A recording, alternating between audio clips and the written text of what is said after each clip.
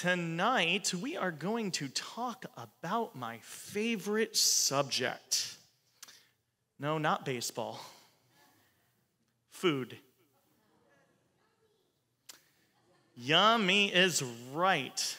So there's a famous Italian chef, Italian American, I believe, Giada De Laurentiis, right? You like her food? Pretty awesome. You see it around the Food Network. And she said that food brings people together on many different levels. It's nourishment for the soul and for the body. It's truly love. And I don't know about you, but when there is a really good meal in front of me, I am feeling all the love. What about you? But you know, there's something even more special about eating together. Now, I'm one of those strange people who likes to eat alone sometimes, but it is much better when we're together, right? Because after all, our theme this year is the Better Together Project. And so too with food. So think of your family gatherings. Doesn't matter what family gathering you're having, but who can tell me what is one of those epic meals that are just better together that maybe somebody in your family made or has been passed down from generation to generation? Who can tell me? Something real good. Yes.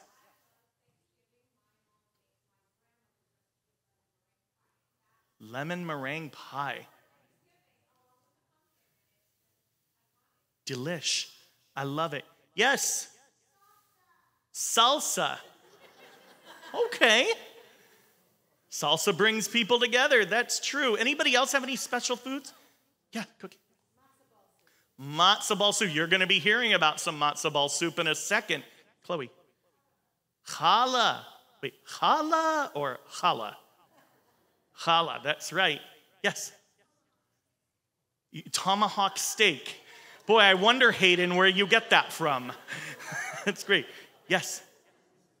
Blintzes. Now, are you on team sour cream or team fruit? Sour cream. Right. What else?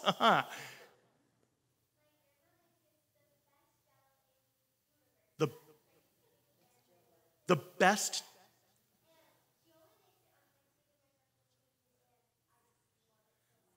It's amazing. I never thought in my life I would hear jello as the greatest thing in the world. It sounds epic. It sounds it sounds amazing. I'm coming to your house for Thanksgiving this year, all right? Sounds good. And it makes it more special because it's on Thanksgiving and because you're better together, right?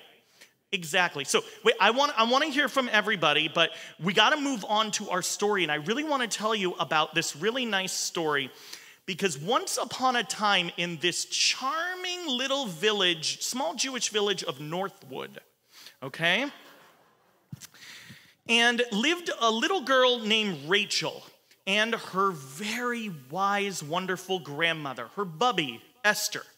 Now, Rachel loved spending time with her bubby, listening to her stories and learning about her Jewish heritage.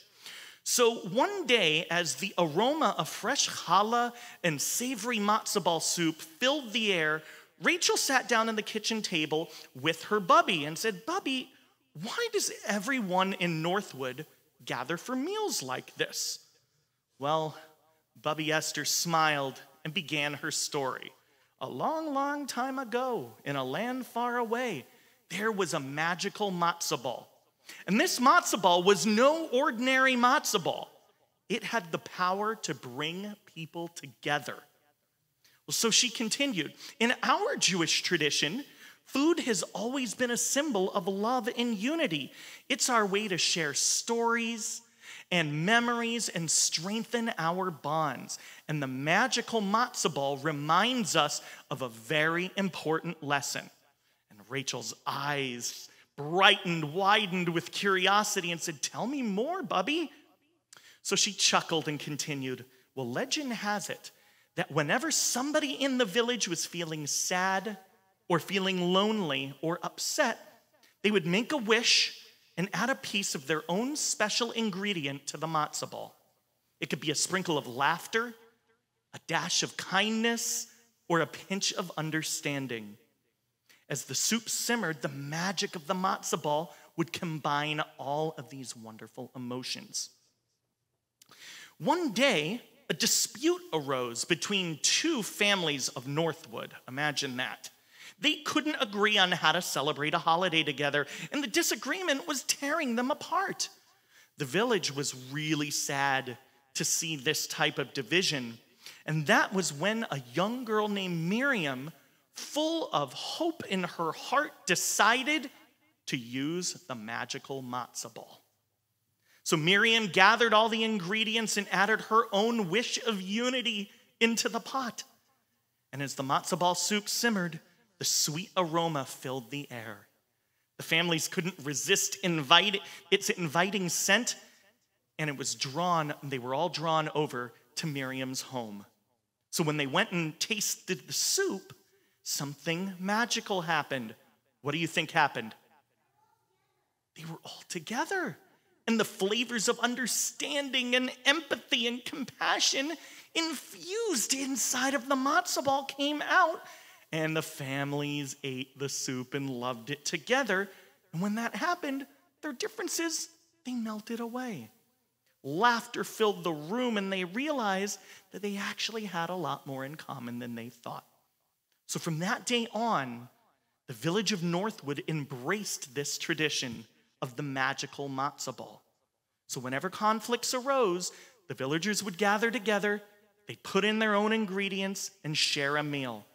And it was the way that the whole community was better together. So on this Shabbat, think about all of those wonderful things that you're able to add to your meal. There are wonderful flavors you can add to each dish, sure. But what are you going to add into that soup? What's your special ingredient? Anybody want to share? What ingredient? You want to bring in love. What do you want to toss in? Passion. Yes. Happiness. Empathy. I love it. This is so wonderful. Kindness. This is the most delicious soup ever. Now I understand why it's a magical matzo ball. So it's clear, my friends, it really does sound like one, yes, kindness of all time. Yes, not just regular kindness, but of all time. It, it really does sound like one amazing meal. Think about why Thanksgiving's so good, right? Friends, family, football, fun, and of course, food. Well, jello's not a word that starts with F, so we're just gonna stick with food. So it's clear, my friends, food really is something that helps us be better when we're together. Let's each continue to add in that wonderful, delicious ingredient to make our magical matzo ball that much more delicious. Shabbat Shalom. Amen.